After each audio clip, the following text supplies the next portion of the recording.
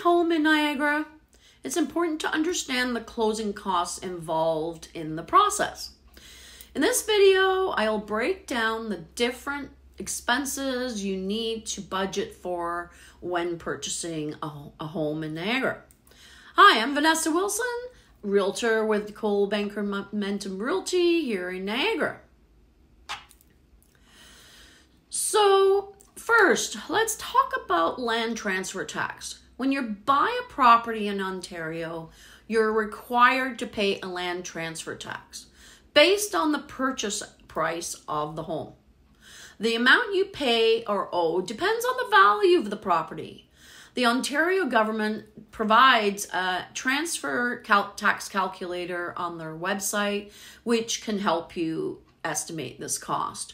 Or, of course, your lawyer will let you know. Next, there are legal fees and disbursements. These are the costs associated with hiring a lawyer to handle the legal aspects of the home purchase. They will review the purchase agreement, conduct a title search, and ensure all necessary documents are in order. Legal fees can vary, so it's important to get quotes from different professionals.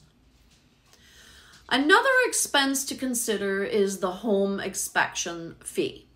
So it's highly recommended to hire a professional home inspector to assess the condition of the property at the time you purchased it before finalizing the purchase itself.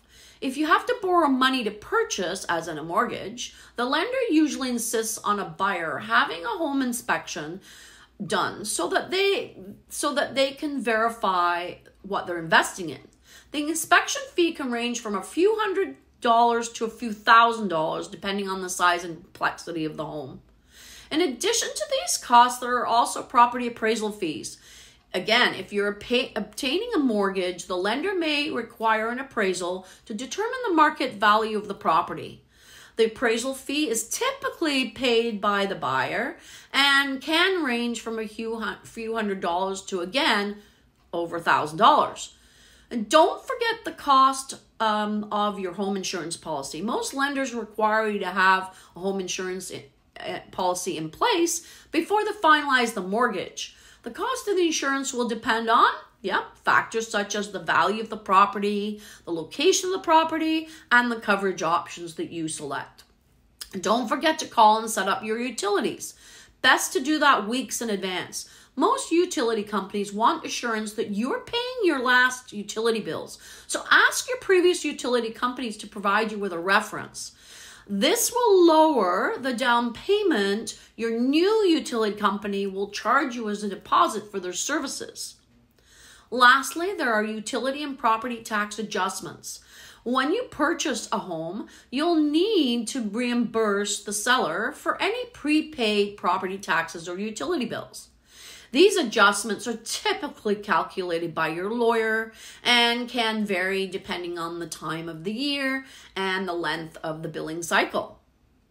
So remember, these are just some of the closing costs you may encounter when buying a home in Niagara.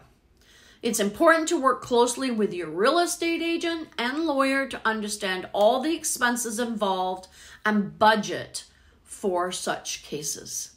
I hope this video has been helpful in explaining the closing costs to you as a buyer.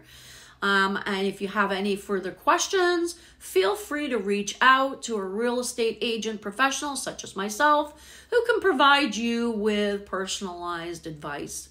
Good luck with your home purchase and have a great day. Please like, share, and subscribe.